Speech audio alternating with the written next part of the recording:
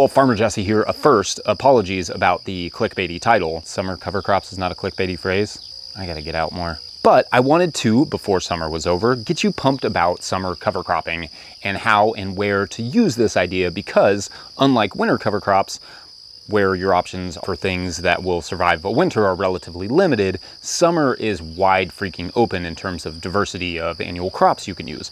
However, like all cover cropping, it's really easy to screw it up. So in this video, we're going to break down how to evaluate which summer cover crops to use, when and where to use them, how, and maybe a little bit of why, because why is my favorite question, and all that good stuff. So let's do it. You don't have a favorite question? Everyone has a favorite question, right?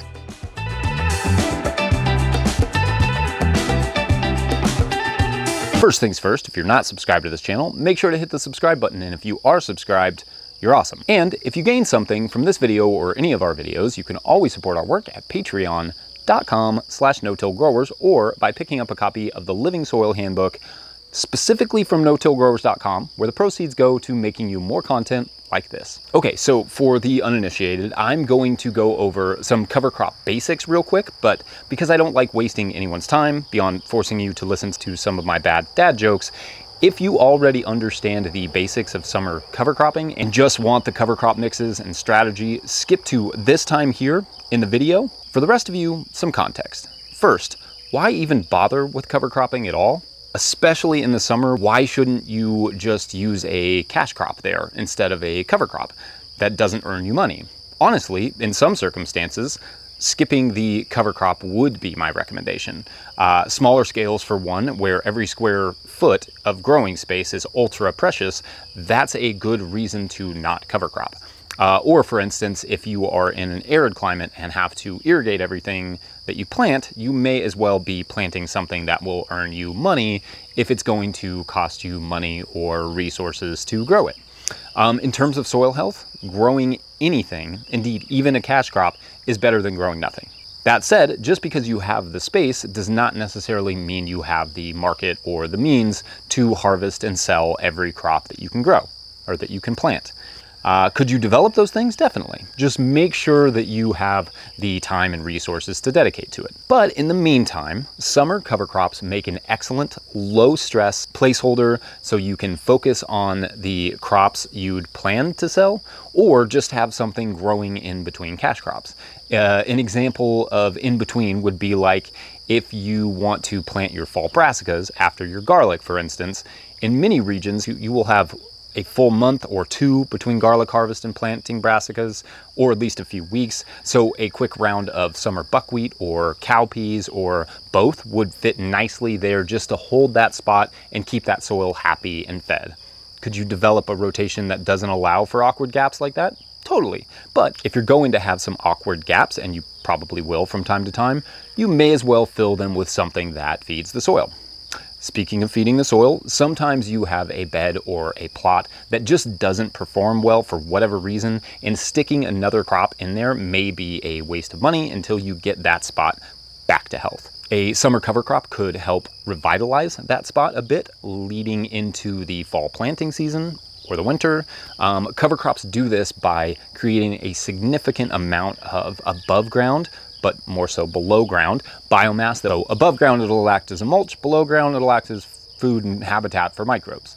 Cover crops also do a lot of really excellent stuff for the soil like gathering nutrients and increasing microbial populations and improving soil respiration. Soil respiration just being the primary source of the carbon dioxide plants need in photosynthesis, right? CO2, water, sunlight, photosynthesis. Uh, basically, as microbes eat and die and do their microbial thing, they give off carbon dioxide. Plants use that CO2 to grow. It's part of the carbon cycle. And it's also part of a digression. Sorry. Cover crops also just help hold the soil in place and keep it from washing away or blowing away. I would keep going, but you should just watch this playlist here for all sorts of good cover cropping advice and insight instead, because it's time to talk about some different cover crop varieties. First, let's discuss buckwheat because it's the fastest and the easiest to kill and perhaps the most common of all summer cover crops. Uh, because buckwheat takes about 30 days to flower depending on weather and soil temperature. Because of that, I do not mix it into other cover crops generally before the other cover crops have matured. It will simply go to seed, by that I mean become a weed before other cover crops have fully matured. So if I do add buckwheat to a mix, I sow the buckwheat one or even two weeks after I sow the original mix usually with a seeder to get that seed to soil contact. But I like it on its own. Kitty cat, you can't do that. You're always rubbing the camera thing. But I like it on its own for a quick and easy cover crop that gets the soil covered and makes excellent fodder for beneficials. What do you think? You seem unhappy. Not a cover crop fan? Note that if biomass is what you're after, buckwheat is not your cover crop.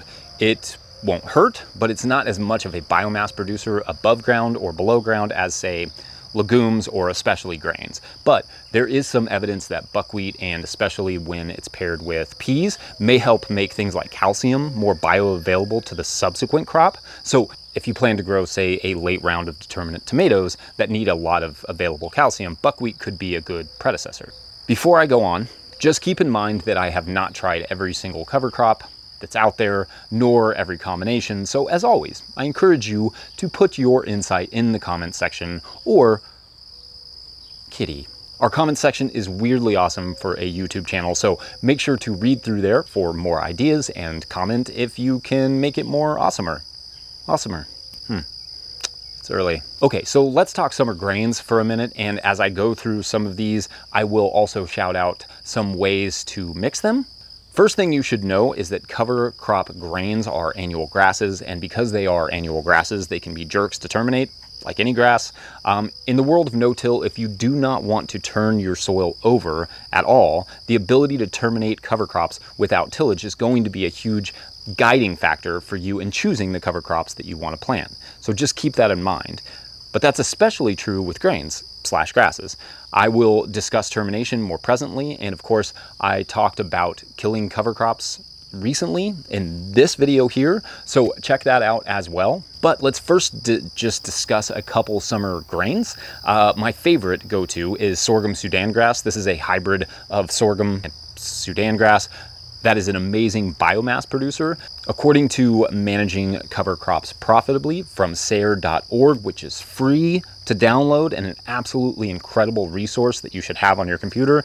Uh, according to that book, sorghum Sudan grass is great for nematode suppression and for breaking up compaction. But for us on our new farm, that is in only year two of production and still in the building soil stage, the more important factor is that it is an incredible biomass producer.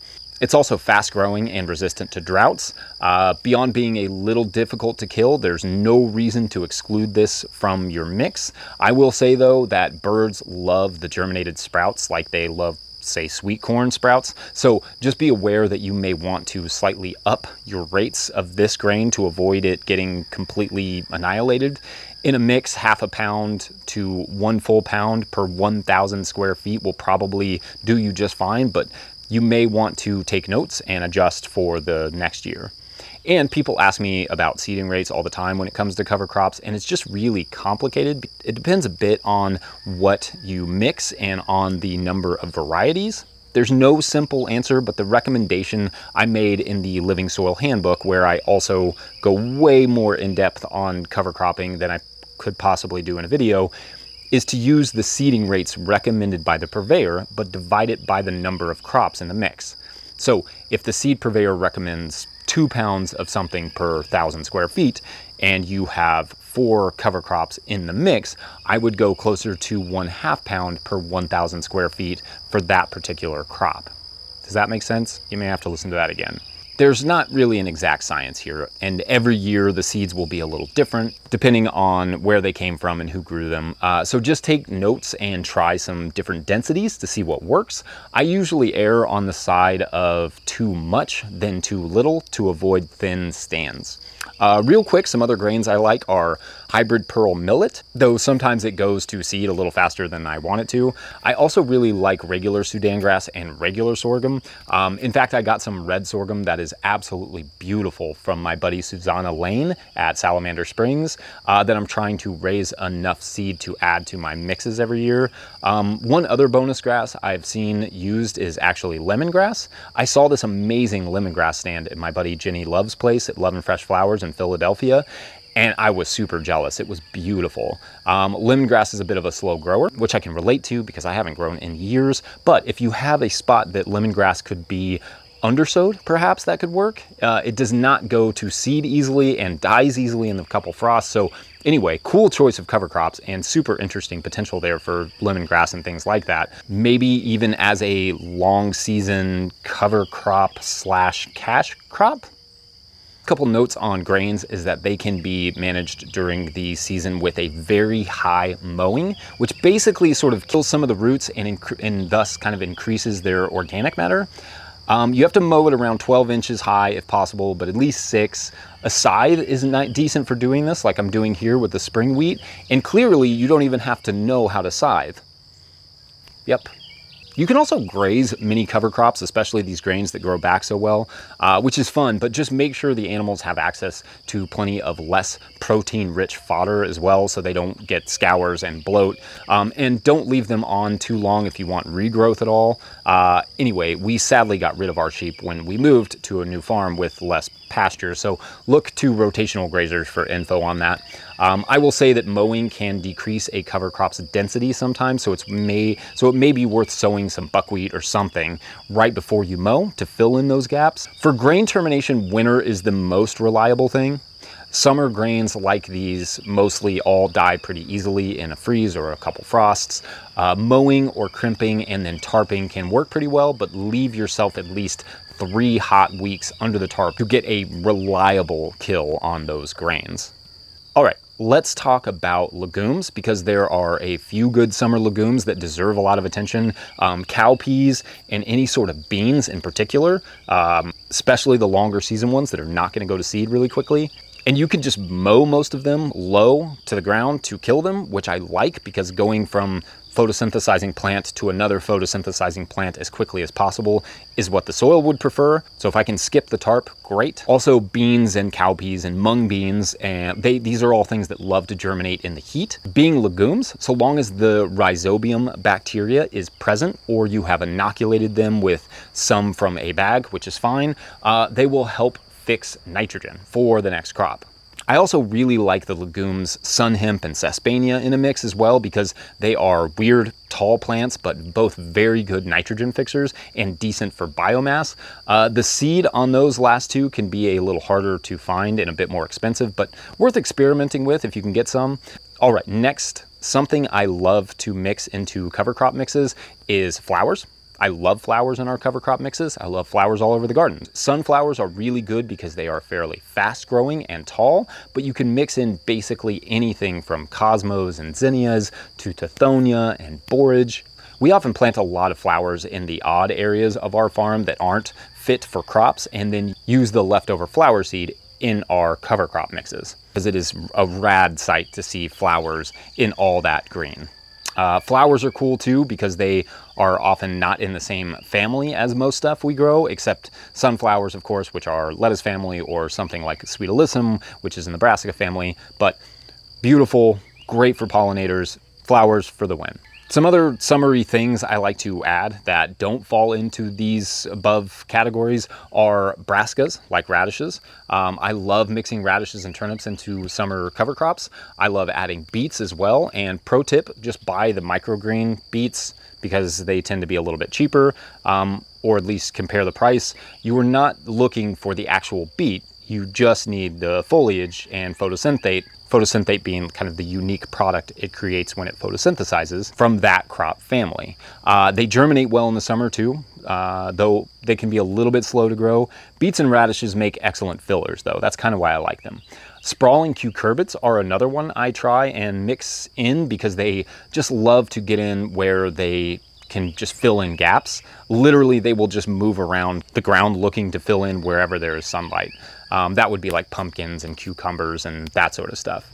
Uh, speaking of vines, one thing I'm playing with this year is using sweet potatoes. We always have a big mass of sweet potato slips after we plant, so I wanted to take clumps of those extras and have them help me get some beds in this cat tunnel right here ready for winter production because those three beds in that tunnel are arguably the worst on the property for drainage and soil organic matter and just need some assistance. So I wanted to do a quick cover cropping to see if I could have a better winter production out of those beds.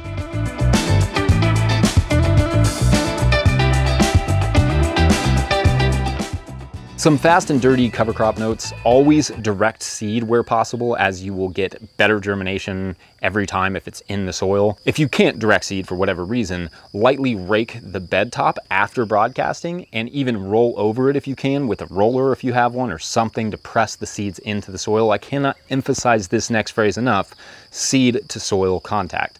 That's critical for germination. Seeds are not going to germinate really well just resting atop the soil unless it just rains for multiple days in a row. If my mix contains small seeds and large ones, I will broadcast the small ones first and then run over them directly with the seeder with the large seeds, usually the EarthWay seeder because it has bigger seed plates to house larger seeds. But I will run over that bed, basically just pushing those small seeds into the soil and simultaneously sowing larger seeds.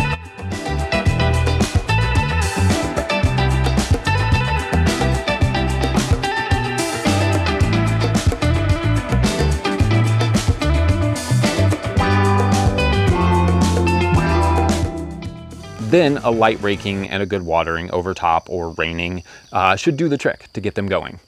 Also, I provide a whole appendix in the Living Soil Handbook about over 30 different cover crops and their benefits and uses and termination if you want to get a little bit more precise because you could, in theory, manage a lot of your soil deficiencies through the use of dedicated cover crop mixes. Besides nutrient management though, uh, very generally speaking, if you're trying to just hold the soil down for a couple months, and enrich it a bit. Mix some sunflowers perhaps with some legumes and maybe some brassicas like radishes or those beets. Easy stuff to kill and grow. Or alternatively, if you're trying to create a nice mulch going into the winter, go with some of those grains. And if you just have a month or so and need a fast cover, go with the buckwheat and maybe a bean or two. One note on biology, I always try to rub the cover crops with some vermicast or some sort of compost where I can, just to get a good jump start on the biology before I broadcast or sow it. I've also been playing more and more with using things like the four row pinpoint seeder to undersow summer cover crops under things like, uh, I don't know, okra. I always sow some winter covers in there too, like rye and crimson clover so that the bed stays green long after the okra has senesced. Anyway, for more cover cropping stuff, I will point you to the Living Soil Handbook and to Managing Cover Crops Profitably and to our comments section for more, because again, we have a lot of great commenters. Uh, anyway, I gotta get to planting, so like the video if you like the video, make sure to subscribe to the channel if you are not already subscribed. Join us on Patreon at patreon.com slash no-till-growers to support all of the work that we do, including these videos. I guess that's it. Thanks for watching. We'll see you later. Bye.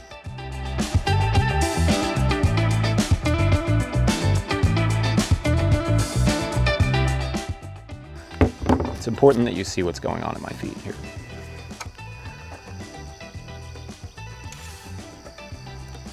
It's pajamas and kitty cats. Kitty kitty.